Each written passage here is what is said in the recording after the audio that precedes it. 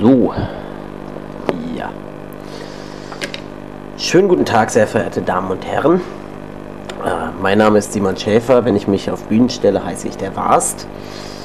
Und ich möchte Sie herzlich willkommen heißen zu diesem kurzen Informationsvideo über die Warst-Vision. Äh, das ist eine äh, audiovisuelle Live-Performance, die ich äh, performiere.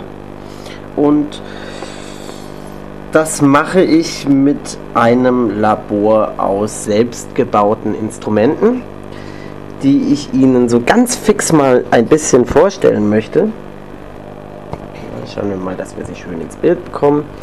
Das sind hier diese Sachen. Am besten steigen wir hier mal ein mit dem äh, Herzstück quasi. Ähm, das ist das Videophon.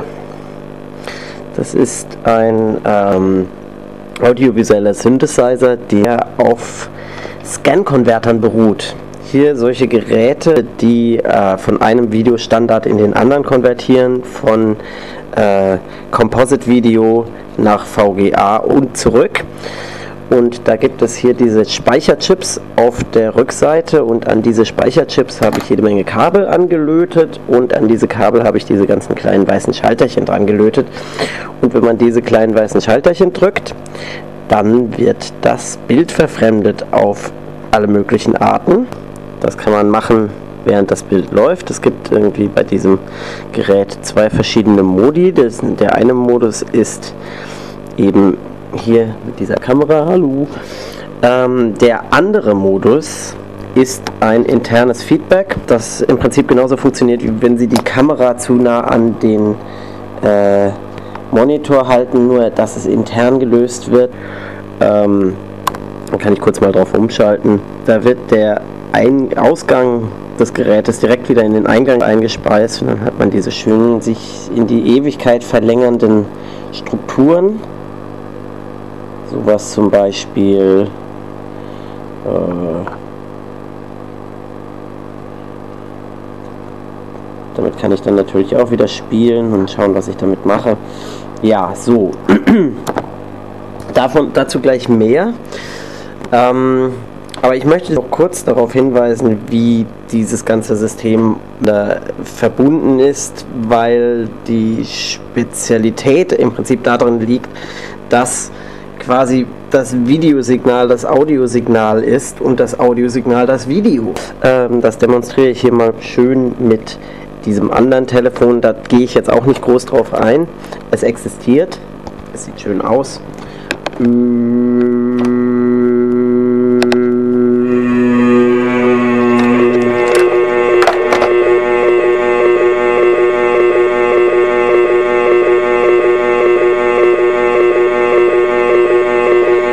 Kann man schon schön sehen, wie das Audiosignal ins Video reingreift. Je nachdem, welche Tonhöhe äh, der Ton verändert sich das auch im, im Video.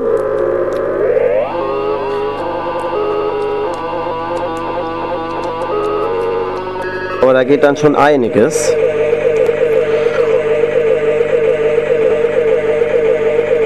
Audioeingang liegt momentan auf dem grünen Kanal. Dafür gibt es einen Grund nämlich weil der rote und der blaue Videokanal des Videophons ihrerseits als Audiosignale herausgelegt werden.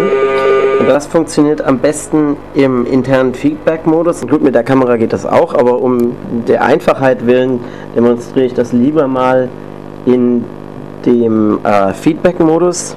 Hier bin ich so verfahren, dass ähm, der rote und der blaue Farbkanal jeweils auf dem Stereo Rechts- und Linksausgang liegen. Und ähm, na, wenn ich jetzt einfach mal anfange, etwas zu machen, dann hört man das schon.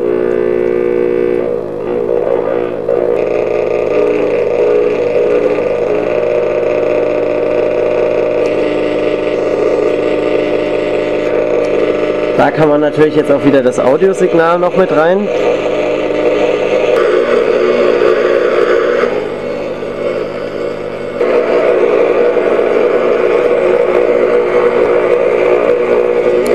Ja, ich denke, für eine kleine Demonstration sollte das erstmal reichen, um ein wirkliches Bild von der ganzen Performance zu bekommen. Äh, möchte ich Sie bitten, einfach nochmal die Videos, die hier an dieses Video hinten dran gepappt sind, sich anzuschauen. Ähm, ich glaube, dann wird das relativ klar.